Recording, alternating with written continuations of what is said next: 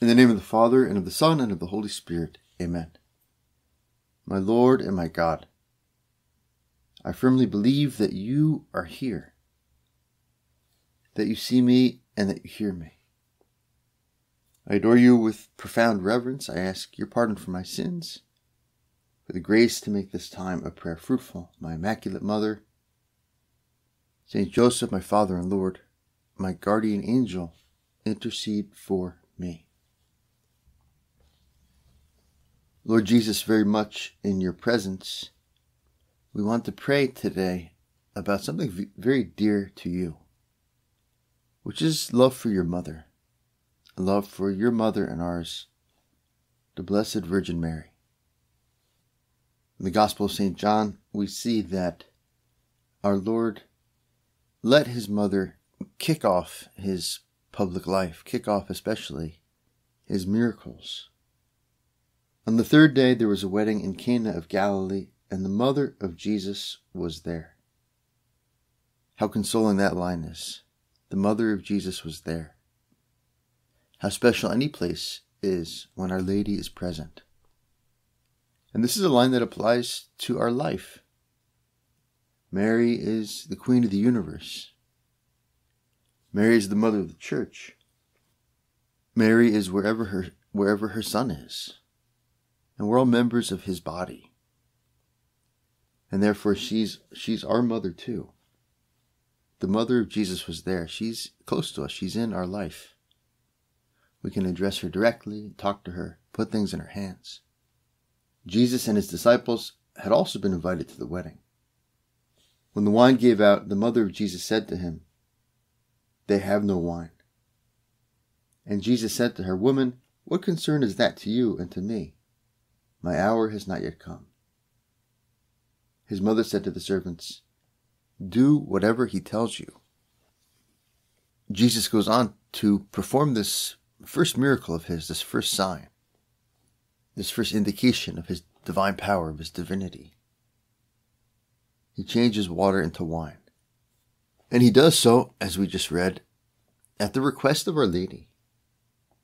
And this is a fascinating passage because when Our Lady requests or indicates to Jesus that he should do something. They have no wine. Jesus' first response seems like a, a, a, really negative one. It seems like he's telling her no. And he's telling her no in a very strong way. Woman, what concern is that to you and to me? My hour has not yet come. Jesus appeals to divine providence, the divine plan in his negative response to Our Lady. It's not time yet for miracles. It's not time yet for this revelation. And yet Our Lady senses that he can't deny her, senses that a concern of hers will be very much a concern of his. Whether or not he's going to perform a miracle, she knows he'll do something. He'll do something to help. And so she takes that no and somehow sees it as a yes. She hears him say no, and yet in her heart she knows that he cares and that he loves her and that he has to respond to her request. And so from a no, she acts as if he had said yes. Do whatever he tells you. How do you turn a no from God into a yes? Why did Our Lady interpret this negative response as something positive? Well, with trust with trust in his love, with trust in his power, with trust in his care for her and for and for everyone. She knew how much he, he loved everyone. And the experience of the church is the same that whenever we go to Our Lady, because she's our mother, and because she has such pull with God, the mother of God, she always comes through in one way or another. She'll always help us in one way or another. This confidence in Our Lady's intercession and the experience of the church is encapsulated, summarized by the Memorare of St. Bernard. Remember, O most gracious Virgin Mary, that never was it known that anyone who fled to thy protection, implored thy help, or sought thy intercession was left unaided.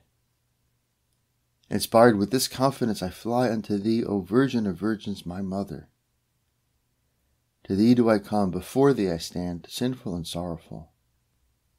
O Mother of the Word incarnate, despise not my petitions, but in thy mercy hear and answer me. It's an interesting prayer. We're basically daring Our Lady not to help us when we pray the Memorare. Remember, never was it known that anyone who fled to thy protection, implored thy help, or sought thy intercession was left unaided. Right? You've never you've never not responded before. So I dare you not to help me now. I know you're going to help me now. And May is a wonderful opportunity to do this, to live this confidence in her power before Jesus and her power before God, and in her love for us, in her care for us.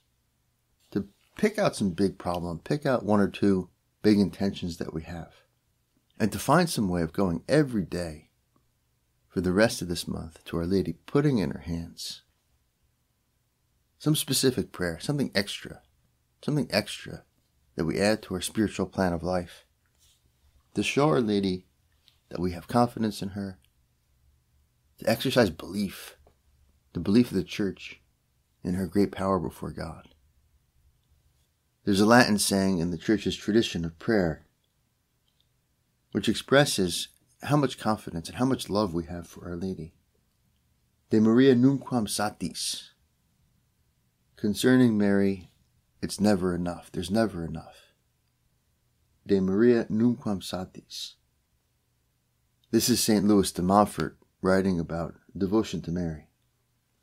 And yet, in truth, we must still say with the saints, De Maria nunquam satis. We have still not praised, exalted, honored, loved, and served Mary adequately. She is worthy of even more praise, respect, love, and service concerning devotion to Our Lady, love for Our Lady, we can never have enough. We can never do too much. And maybe our reaction to that, and it's a natural reaction, is well, that's a bit much, right? It's a bit of an exaggeration. How can we not go overboard in anything except for love of God, who's infinite and who deserves our adoration? But this this sentiment makes sense if we realize that Our Lady is essentially a door She's essentially a door to her Son, a portal to her Son, and therefore a portal to God, because Jesus is God. And so if we keep going to her, no matter how much we go to her, she's always going to bring us to Him and bring Him to us. And we can never get enough of that. And this is the deep sense of those wonderful titles of Our Lady in the Litany of Loreto. That litany which many Catholics pray after the Rosary spiritual vessel, vessel of honor, singular vessel of devotion. A vessel, of course, is a container. It's something used to transport some important objects or some material. It's used to carry something else, to serve something else. And this is Our Lady. She's, she's a vessel of God, carrying God to us and carrying us to God. House of Gold, Ark of the Covenant, Gate of Heaven, Morning Star. The House of Gold, Our Lady, is the first tabernacle, the first physical container of God, of Jesus. Ark of the Covenant, our Lord, is the new covenant. Our new relationship with God happens forever, an eternal covenant, in Jesus Christ, in the person of Christ gate of heaven, morning star. The morning star rises before the sun. It, it announces the coming of the sun. All these images, Mary is the vessel, the conduit to God, a container of God. It means that we can't go to her too much. She always loops us back to her son, loops us back to God. De Maria nunquam satis, and also, we can't get enough of devotion to Our Lady in the in the sense that we can we can never imitate her too much. She's the perfect model of what it means to be a Christian, perfect model of the church. And specifically, we we can never imitate enough her response to God. Ecce ancilla Domini, fiat mihi secundum verbum tuum. We could always make that attitude ours. Those essential attitudes of humility, obedience, love of God. And we realize, Lord, that when we look at those attitudes and that response of your Blessed Mother, that they're your attitudes too. This is exactly what shapes and forms your personality. Learn from me, for I am meek and humble of heart, our Lord says. Learn from me, for I am meek and humble of heart. Humility of heart is a trait we see so clearly in, in our Lord and also in his mother. Our Lady calls herself the handmaid of the Lord, Ancilla Domini. The original Greek word simply means a female slave. Doule is the Greek word. He's looked upon the lowliness of his handmaid, of his doule, of his slave. And that's shocking to us, and it's supposed to be shocking. Who wants to be a slave? Right? Slavery to another human being, of course, is extremely degrading. It's not in accord with our dignity. But God is so good and so powerful and so wonderful and so transcendent that to be a slave of God, to give over our freedom, to do whatever God wants, freely, of course, but to do whatever He wants, to give over our life, to say we're His, we belong to Him. He's our Master and Lord, to be a handmaid of the Lord, a servant of God. Far from being something that, that demeans or degrades us, exalts us, gives us a greater dignity, fulfills our deepest desires of happiness and love. We see this in Our Lady. Behold the handmaid of the Lord. Be it done unto me according to thy word. And because of that, because God looks upon the lowliness of his handmaid, behold, all generations will call me blessed. It's a fulfillment of our Lord's words. He who humbles himself will be exalted, and he who exalts himself will be humbled. Our Lady, our Mother, help us to learn this wonderful lesson of your humility. Help us to follow the example of your desire to serve God, your desire to give over your will and your whole life to God. Be done unto me according to thy word. We can't pray to her enough. We can't trust her intercession enough. Never was it known. We can't imitate her enough.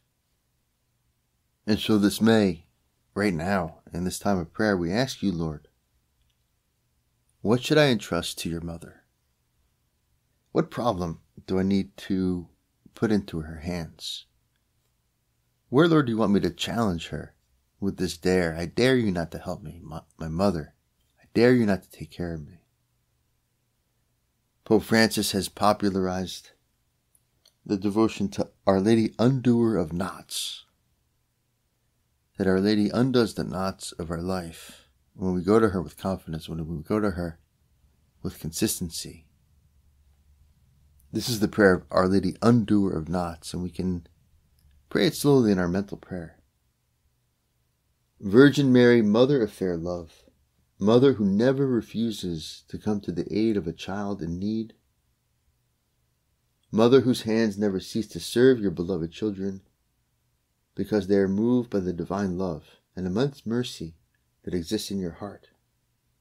Cast your compassionate eyes upon me and see the snarl of knots that exists in my life. You know very well how desperate I am, my pain, and how I am bound by these knots. Mary, Mother to whom God entrusted the undoing of the knots in the lives of his children, I entrust into your hands the ribbon of my life. No one not even the evil one himself, can take it away from your precious care. In your hands there is no knot that cannot be undone. Powerful Mother, by your grace and intercessory power, with your Son and my Liberator Jesus, take into your hands today this knot. And there, if we know what our big knot is, we give it over to Our Lady we put it into our hands right now and every day of May. We put that knot into her hands. We let her take care of it. I beg you to undo it for the glory of God, once and for all. You are my hope, O my Lady. You are the only consolation God gives me, the fortification of my feeble strength, the enrichment of my destitution, and with Christ the freedom from my chains. Hear my plea. Keep me, guide me, protect me, O safe refuge. And we all have experience. We all have experience of Our Lady's help. We all have experience of her helping us in some situation, big or small. I remember before I was a priest, I was working on a PhD in philosophy. And my dissertation was a, was a real bear. I made a couple mistakes. I, the biggest mistake was my topic. It was a, it was a thorny one. It was a difficult topic, and there had been way too much written on it. So I had to I had to wade through all this secondary literature and then try to come up with something new. And I remember I was I was working on the dissertation, really struggling and, and wondering if I would ever finish it, if I was capable of it. And a friend came to me, it was the month of May, and he said, John, let's go let's go do a pilgrimage to Our Lady. And we can entrust to her the completion of your dissertation. And I was like, ah, that's a great idea, right? Nothing else is working, so why not? And so we went. We went to the shrine. I was living in New York at that time, and there was this shrine up north of New York City. I'm pretty sure it was right on the Hudson River. And I'll never forget, we got there, and the image of Our Lady was gigantic. It was like 70, 80 feet tall, something like that. And she's high up and overlooking the, the surrounding landscape. And it wasn't a particularly pretty image or moving in the sense of its beauty, but it was striking in, in its power. Our Lady looked like she can get a lot done, standing there in an imposing way, dominating the landscape, her arms stretched out. And I thought, yeah, this is the kind of image that I need right now. I need a, a virgin mother who's imposing, who has power, who can get things done, who's big and strong. And so we did the pilgrimage and I and I entrusted to Our Lady the knot of my thesis. And it worked. It worked. I, I finished the thing. It wasn't it wasn't miraculous intercession, but it certainly was an intercession. Eventually I finished the writing the dissertation, I defended it successfully.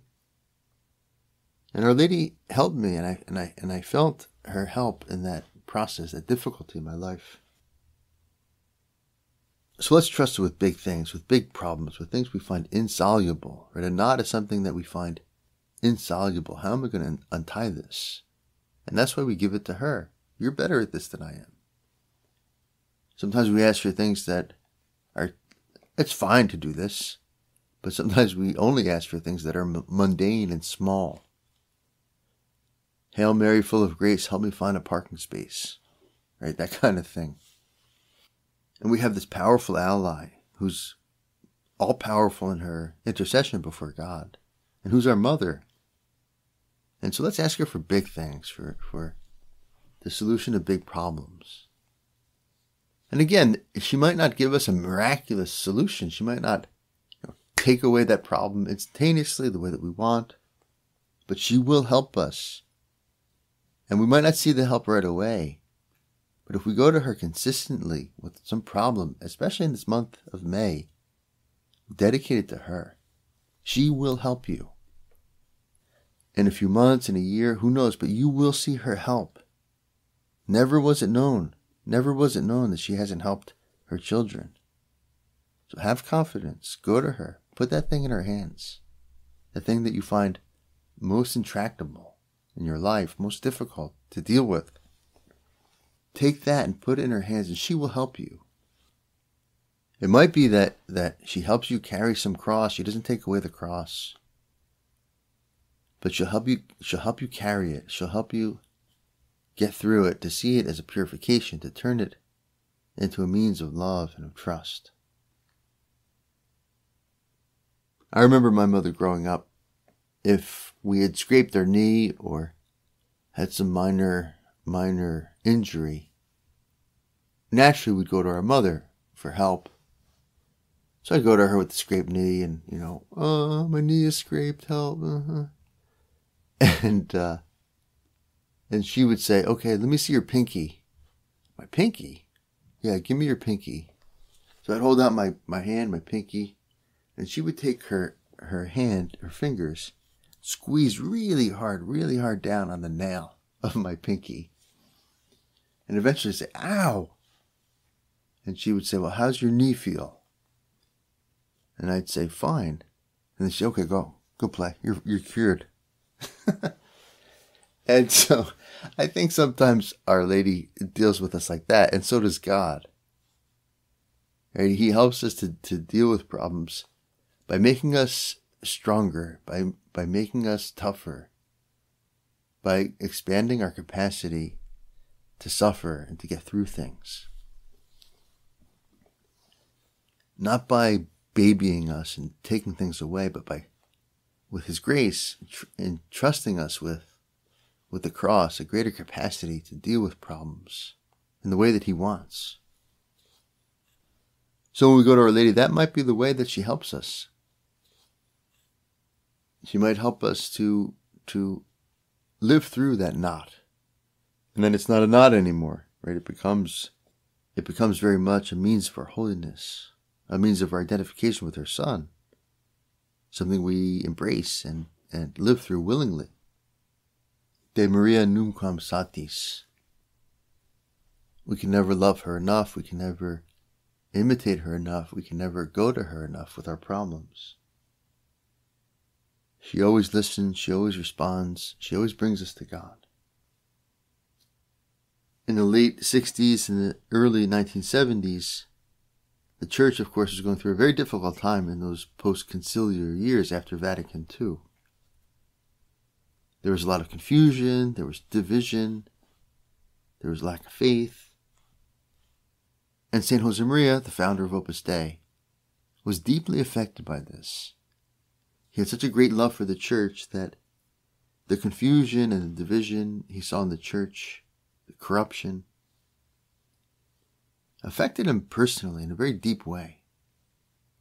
And people saw him during Mass, he, there would be tears streaming down his face during Mass in those years.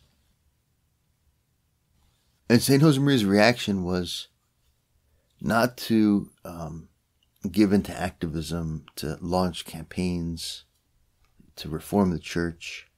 Although he did, he, he did talk to people and go on um, visits to, to countries where he'd give these catechetical talks. I mean, he was active and he, and he, and he did try to help in the way that he could.